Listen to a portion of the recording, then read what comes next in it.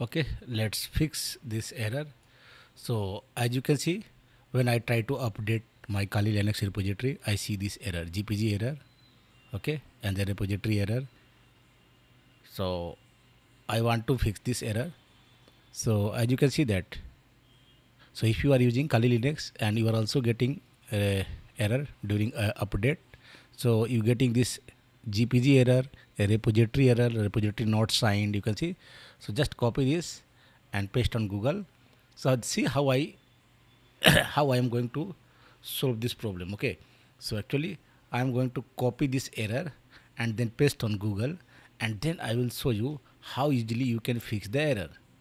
So I just copy and paste the error to find the solution. I go to the first link and then I go to the solution and the solution was very easy okay? So I just see now what you need to do you need to just copy this line. You can see sudo wget http archives kali.org you just need to copy this line. This is gpg copy line.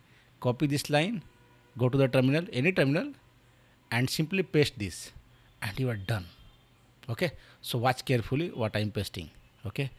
So you can pause the video here watch it carefully just type this command and done. Done.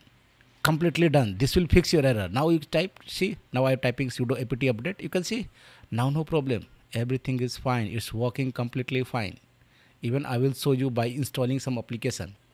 Okay just for just to demonstrate you just to show you so that you don't have any doubts that whether it's able to still install any package or not.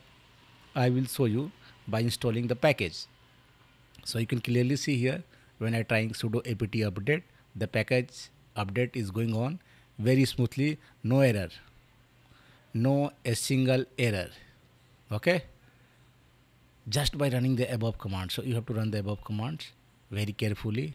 You can pause the video and you can type it or you can follow my steps. Go to the website copy the link and you can see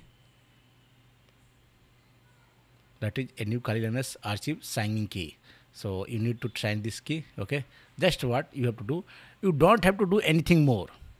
That's one line which i did was enough okay? And now i will also show you but if you want to install any software you know any any package you can also do it. You can also install it.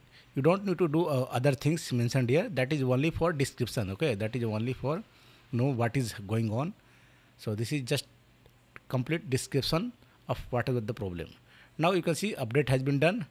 Now if i want to install some package okay like i want to install any software i can install it. For example i want to install sudo apt install ufw that is the firewall. And see i am able to install the firewall.